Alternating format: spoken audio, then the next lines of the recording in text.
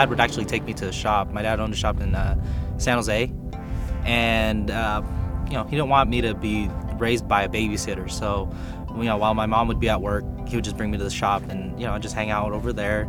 And back then I didn't even really care about you know anything. You know I didn't I wanted video games and toys. I didn't think that later on down the line I would actually become you know car enthusiast like that.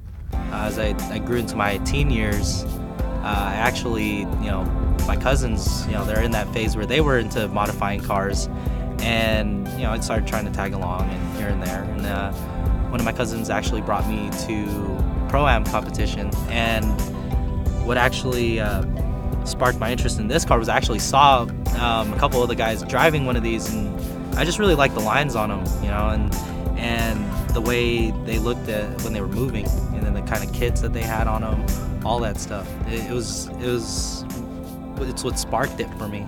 And after that, I just you know had to have one. My name is Karl Ducusin. I drive a 1985 Toyota Corolla GTS. How it feels to drive a Corolla, it, it's really different. Um, when I first got into it, it was definitely not what I expected. Um, the guys that I saw at that pro am competition, they were they were driving it the way it was supposed to be. When I first got into it, it it didn't seem that way. You know, I was like, man, this car's slow. You know, I tried to slide it here and there. I almost hit a curb a couple of times the first time around, and and then I actually did hit a curb when I actually got it sliding. I didn't really know what I was doing at the time, and um, it took a couple of uh, skid pad events for me to actually finally figure out um, after riding along with some of my friends that you really have to beat the crap out of the car. You have to come in hot, don't lift your pedal up, clutch kick uh, while you're turning in, and snap it back. And then you know when when you do feel your revs start to drop, you have to clutch kick it again, and it's very violent. It feels crazy inside the car, but it looks normal. You know, like it looks like it's barely moving outside, and it's it's a good feeling. And I mean, gripping it is also pretty cool. You know uh, the feeling I get when when I'm you know running through the mountain or whatever, and and the car's just doing everything that I wanted to do. Uh, the steering input's on point. Um, you know, suspension's doing its job, and and the car's just wanting to go where I want it to go without sending me over the side of the cliff.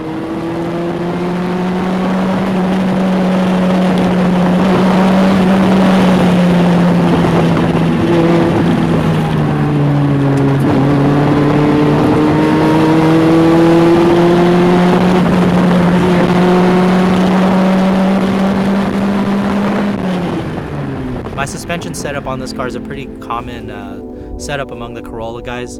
Seeing that there is a live axle rear end on it, I do run a conventional spring and shock setup in the back, but I do run coilovers in the front, along with uh, Tanabe sway bars in the front and rear. Um, I do run Swift springs as well. With the way I have my suspension set up, I can switch between uh, drifting and, and grip driving as well.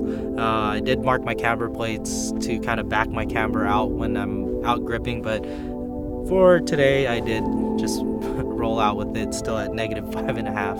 My wheel and tire setup for this car is actually just stock wheels off of a premium package 240Z from back in the 70s. They're 14 by 7, negative 10 offset. On a Corolla body, that's actually pretty perfect with a minor roll at most. Um, I do run 185 uh, 60 Hankooks on here. They're just regular all seasons because, you know, when my tires go bad, I just throw them in the back and I roast them and then I buy some new tires. Um, you know, if I was more competitive, maybe I would run some kind of uh, different compound, but for me, all season works. And I mean, you know, I just let some air out and I can still get some crib into this thing. The engine setup that I run in this currently is a 16 valve uh, small port from a JDM AE92. That was the non TVIS motor where they bumped the compression up on it. This does have a fresh rebuild on it with all brand new OEM oversized parts on it. Um, I do run Toyota valve train on it with uh, HKS 264 and 256 cams on it. The exhaust setup on my car is pretty basic. It's just a pace setter mated to a Buddy Club Spec 2 exhaust. The drive actually it wasn't all that bad from Sacramento to LA. Only fill up uh, once and used a tank and a half on the way down. When uh, Toyota released the this generation Corolla in the United States back in 84.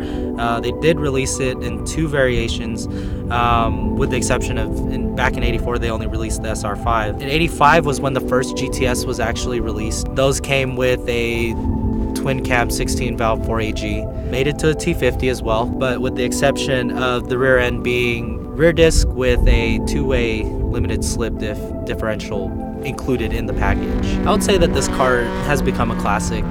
Not a lot of people have realized that this was the last rear-wheel drive Corolla to, to be released. On a pretty common basis, do get the wanderer that will come up to me and ask me if I ever do want to sell my car. Even, you know, times where I break the car or something goes wrong with it um, and I'm just, you know, pissed off about it.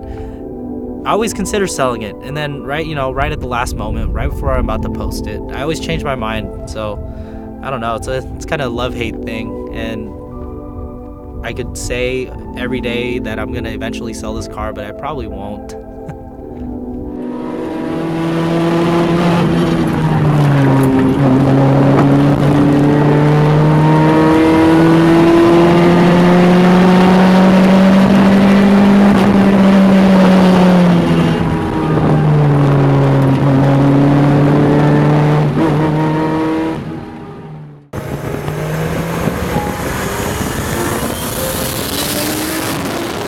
2JZ GTE JDM motor. Uh, I actually got it from an Aristo, being that my car was originally non naturally aspirated, like I mentioned.